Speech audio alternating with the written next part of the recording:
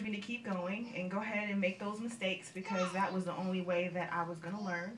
Um, they always complimented me on my comments and my talks. Um, they said they understood every word I said, even though I didn't, like I said before.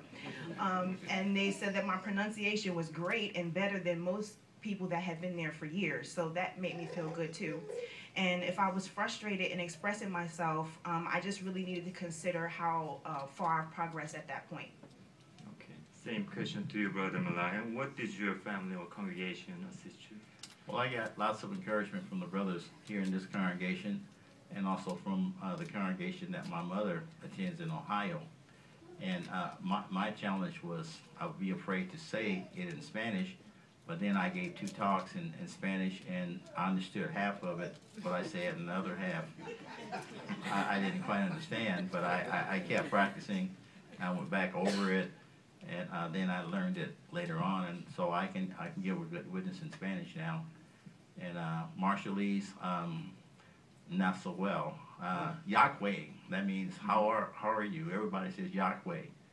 And uh, or jirikan jirik means little by little or so so. So I mean I, I remember that much, and uh, my talks there were translated uh, from English into Marshallese. I have a translator. Okay. So I got lots of uh, encouragement from the brothers there in Spanish and also over in the South Pacific from the brothers here too.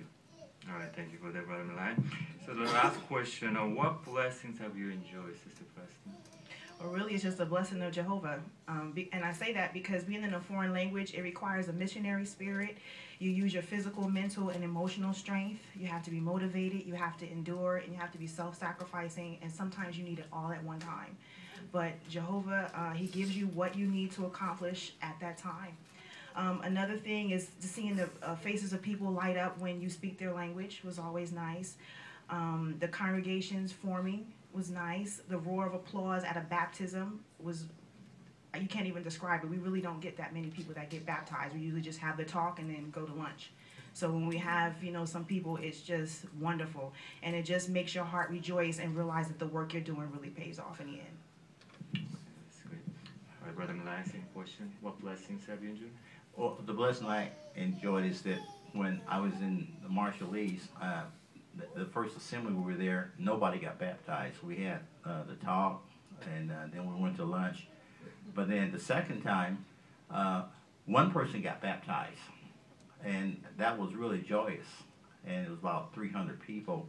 The first time we were there, we met at the Kingdom Hall for the uh, circuit assembly, and then we were able to get a hall rented and didn't have to pay for it, just had to pay the workers to put the seats up. So I benefited from seeing these people way out in the middle of the ocean that are serving God on a small, tiny island, 31 miles long and a half a mile wide, out in service all the time. And it's interesting to go to a meeting for service and you sit on the floor or in the sand if you're on a return visit. Uh, no, no chairs, just sit on the sand or snow and hot and sweaty but uh, people would listen. Uh, so uh, it was humbling, and I enjoyed going.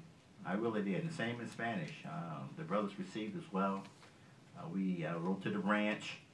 We got the recommendation from the body here, and then it was forwarded there to Guam. And we, we they recommended we serve on the island of Majuro, which we did. we were there for five months.